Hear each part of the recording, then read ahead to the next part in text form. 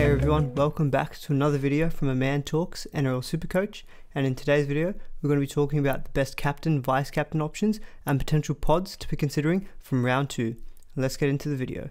So starting off with the vice captains. Now, a quick little note. So with Supercoach, you know we've got vice captains and captains, um, and there is something called the vice captain loophole.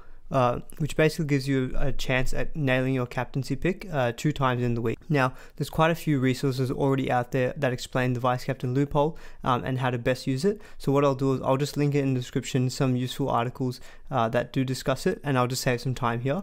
Uh, but yeah, definitely go do check those out. I think the SC Playbook has got a really good one on their site that I've uh, used in the past, um, and then there are also some uh, good tools and calculators to help make your uh, make the decision as to when uh, the loophole is best used. So I'll link those in the description below. Uh, definitely do check those out. But start off with a few vice captain options, and and it goes without saying that players that we can consider as a vice captain are also good potential to straight captain options. So we'll start off with Cam Munster. Um, you know, they play the first game against the Eels on Thursday night.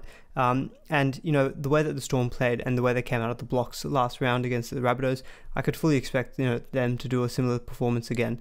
They do, uh, they are playing away from home, which is a bit of a downside, but, you know, the Storm are a quality team and the way that Cam Munster, you know, took the line on and was able to score that early try, you know, he actually did seem a little bit quiet for the rest of the game, but that's what it that's what it shows you. He doesn't seem to have to do a lot, and he'll just rack up easy points.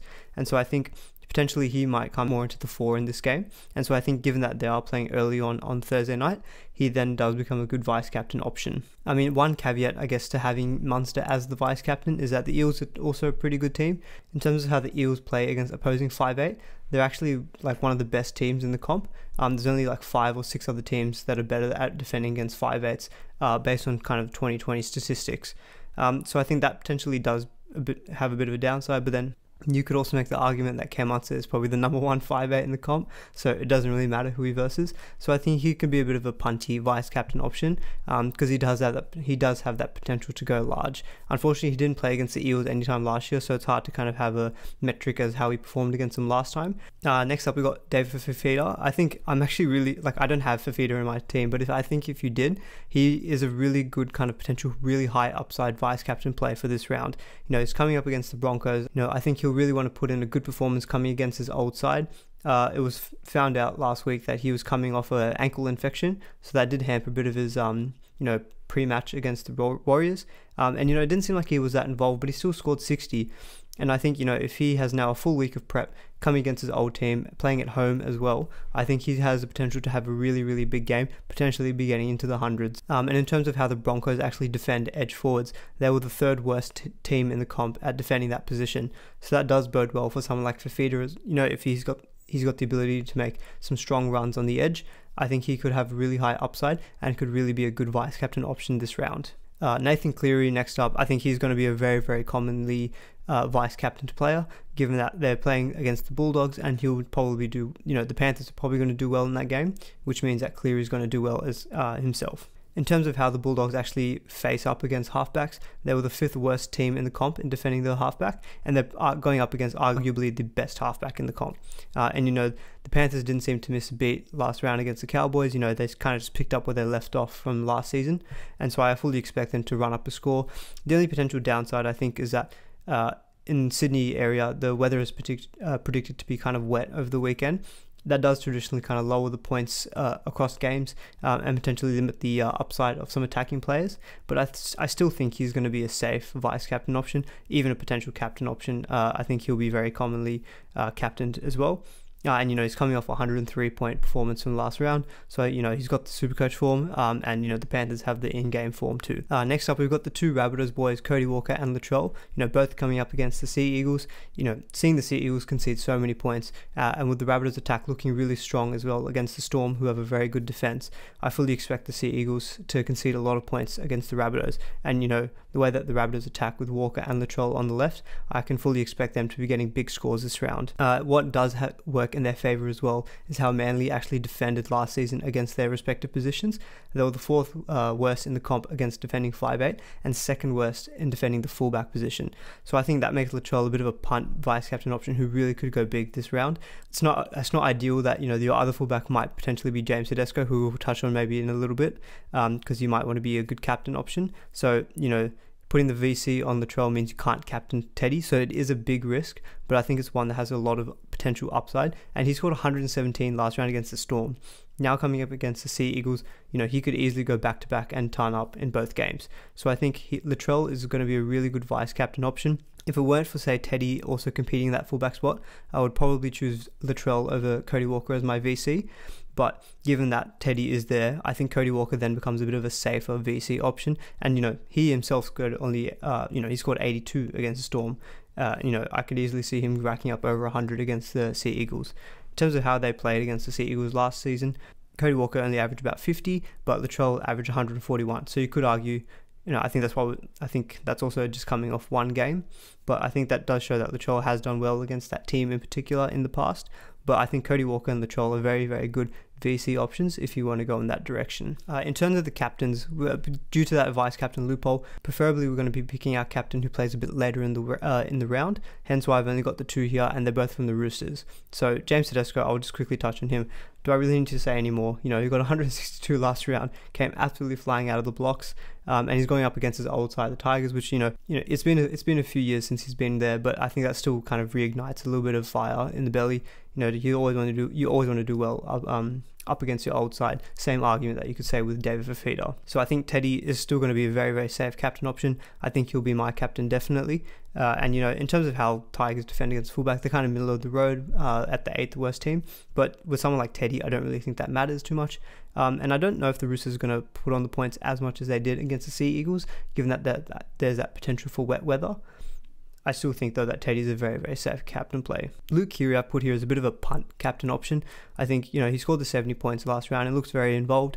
Uh, and I think you know in terms of how the Tigers actually defend the uh, halfback and five eight position, they were fourth worst in the comp. So you know that does bode well for someone like Keary. And I think you know he's already a pod in himself. I think if you went to captain someone like Luke Keary, that really is a big bold pod move. You know, so if you're that kind of player and you've got him in your side I think that really could be a player that you potentially could gain up a lot of ground that other players won't be considering. So I think Luke Keary potentially could be a good punt captain option. But, you know, I think the safe option will be James Tedesco, uh, and with vice captain, either on like Cleary, Cody Walker, or Latrell.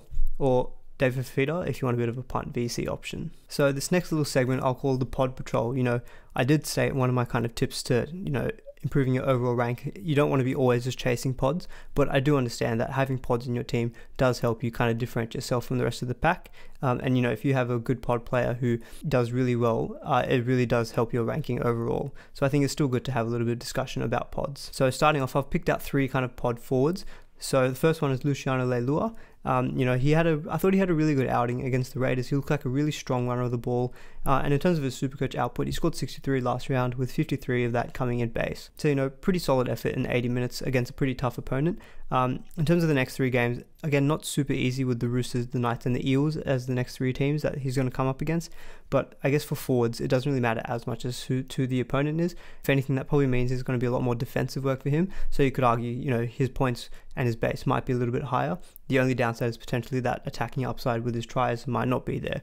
But I still think he's a good pod option long term. Uh, you know, he's only owned by about 8% of players uh, at the moment. So I think Luciano Leilua, I was really impressed with how he kind of ran the ball and how he looked in general in uh, real gameplay.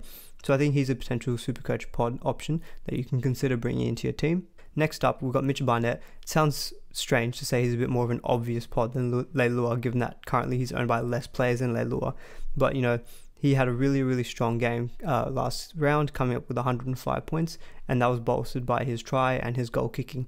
Now, the try and the goal kicking goal kicking did account for about 50 points, I think, in that 105. So, you know, playing 80 minutes with that base of 50 again is very similar to Leilua. But given that he does have that goal kicking up until Ponga comes back, um, you know, I think he does have good upside, and I think he's a good pod. I mean, that five percent ownership, I fully expect to go up during the week uh, and during the next few weeks as well. Uh, the Knights draw is very favourable, so that means that goal kicking really does um, boost his overall potential. And you know, with games against the Warriors, who did have a good defense uh, defensive effort last round against the Titans, so I wouldn't expect maybe as many goal kicks as say against the Bulldogs. But with games against the Tigers and then the Dragons, I think is the key one. I think Barnett then becomes a really good pod option and I think one that's really going to be heavily heavily backed coming into the next few weeks. So it's kind of funny to call him a bit of a pod, given that you know I think there's been a lot of talk around him. If you listen to a lot of other podcasts and uh, things, he's very heavily uh, discussed. But in actual game, he's only owned by about five percent at the moment. I would fully expect that number to increase. But yeah, I think Mitch Barnett, good pod option uh, for the next few weeks. Uh, and finally, with the forwards, we've got Lindsay Collins at the Roosters. So at 411k, to be honest, he's not really someone I considered at all before the season, but he had a really good effort last round. Um, scored 63 points with about 60 of that, I think, coming all in base. Uh, and I think he played really big minutes at about 60 minutes uh, last round. I don't know if that would be the same going forward as well. I don't know if maybe last round was an exception, given that, say, Taukei'aho played a few less minutes than I would have expected. But I think Lindsay Collins, he seems to be you know, coming off some good form. He was able to get into the state of origin team last season, uh, and he had a really good effort in round one. So, you know, even though he's potentially might get rotated back to the bench. I think with uh, with Waerea-Hargreaves, you know, getting up there in age, I think Lindsay Collins could actually hold down maybe that starting front row forward position, and maybe would might not be jumping on him straight away this round. It'd be good to maybe have another look and see how his minutes are for this round. But I think going forward, he could be a very very good pod option. Only owned by about three percent of the game at the moment. And at 411k, he is a little bit awkwardly priced. But you know, say for example, if you have Christian Welch and you're not too happy with uh, with his performance, you know, if you're and you're looking to make some money out of him, you could potentially just downgrade someone like Lindsay Collins and open up 40k. Or, you know, if you've got any kind of other, got some spare cash, say from downgrading Matt Lodge, and you want to upgrade one of your other front row forwards, you could go to someone like Lindsay Collins. So I think he's a decent pod option. In terms of the games, they've got the West Tigers, the Rabbitohs, and the Warriors in the next three. But again, as I mentioned, for forwards, I don't think it matters as much as to who the opponent is either way, the Roosters are a quality side. You know, you can always expect them to be rolling forward, and you know, Lindsay Collins to be getting a lot of run meters and hit ups. So I think he's a very uh, good, interesting pod option to see how he goes over the next few weeks. Uh, in terms of the backs, Luke Keary is getting a, getting another mention. Uh, super, I seem to be super keen on Luke Keary, guys. Um, but I think in terms of the backs, he's one of the less owned halfback, and he does have that dual five eight slash halfback listing, which does come in handy down the line you know, at 528k, a little bit on the more expensive side. You know, I think the way that the Roosters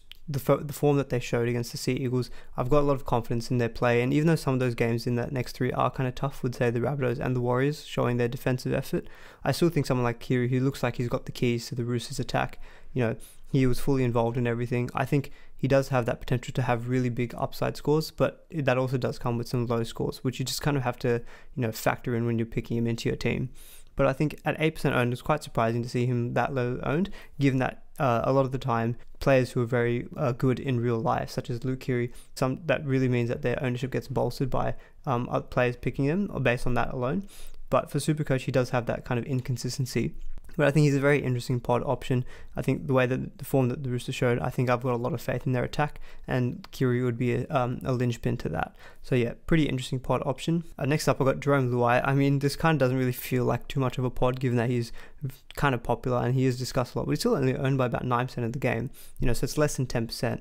Um, and I think the Panthers' draw and the form that they showed last round against the Cowboys, they look like their attack is still clicking on all cylinders. Um, and Luai looked really good down that left side you know, coming off a 79 point effort last round, and they've got the Bulldogs this week. Storm, yes, that is a tough game, but then they've got the Sea Eagles. So two out of those next three games are very, very favourable for the Panthers. And so someone like Jarome Luai, I think, you know, he could really go up in value over the next few weeks. Kind of regretting that I didn't go with him instead of Dylan Brown to begin the season. I still could make that Brown to Luai switch, but it does seem a bit sideways. But yeah, it doesn't really feel like a pod too much with Luai, but at 9%, I still would put him into that pod category below less than 10%. So I think Luai, very, very good pod option. Don't really have to talk about him too much. I think everyone knows that he looks like he's going to be an absolute super coach gun. Uh, and finally, we've got Joey Manu. So I think Joey Manu, I was kind of tossing up whether I wanted to put Joey Manu or Brett Morris. I just feel like a lot of the Roosters backline don't get a lot of uh, love in terms of their ownership. You know, someone like Brett Morris, obviously he's a lot more expensive at like 630k, but he showed that that can his price tag can be justified. He's got 125 points last round. Um, and Manu, I think he scored 73 last round, and I didn't think he, he didn't get a try nor a try assist. You know, so that a lot of that was just coming from base, and then his his ball running, uh, ball playing, and I think um, a lot of his involvement in the attack in general. Um, and he's typically someone I think over the past few seasons he's gradually been increasing his average every year, and in real life he just seems to be getting better and better. Like I really highly rate him as a real life player. It just sometimes doesn't always translate into Supercoach, I think what does happen with Manu when if he's ever able to able to fill in at fullback ahead, um, instead of Tedesco, say if Tedesco's been rested or at Origin, Manu does seem to put up amazing numbers. I think he consistently gets into the hundred point barrier when he's playing at fullback. But he's someone Manu, I think someone to keep in the back of your mind. If you want to go for a bit of a pod center option, say for example, if you're got Brian Kelly, and you need to trade him out after his injury. Someone I haven't mentioned is Brian To'o, who's owned by about five percent, so he himself is a pod. Um, I think he's still getting a lot of discussion, but I feel like Manu isn't really being talked about at all. And I think you know he is cheaper than To'o, uh, and that's an easy downgrade from Brian Kelly to Manu. You know, and I think the Roosters draw um, long term is pretty pretty favourable. And I think you know if you're willing to kind of ride those inconsistencies, I think he has that potential to give you some good 80, 90 point scores. So Manu, I think one of those guys who I think I really rate as a real life player and could be a very sneaky pod in your centre wing. Well, that's it guys, made it to the end of the video. Hopefully you guys kind of like this kind of content where I talk about, you know, some captain, vice captain and pod options. Do let me know in the comments below if you do like to see this instead of just kind of going through the team list um, and not my, you know, my kind of team and my trade thought. Yeah, so I would really appreciate if you leave in the comments below, like if you do like this kind of content and then I'll, they'll, they'll let me know what kind of stuff I should keep uh, creating for you guys. But if you did like this video, please uh, would really appreciate a thumbs up and a like on the uh, video. Um, and please do consider subscribing as I'll be continuing to put out videos throughout the 2021 Supercoach season. But until then, see you guys in the next video.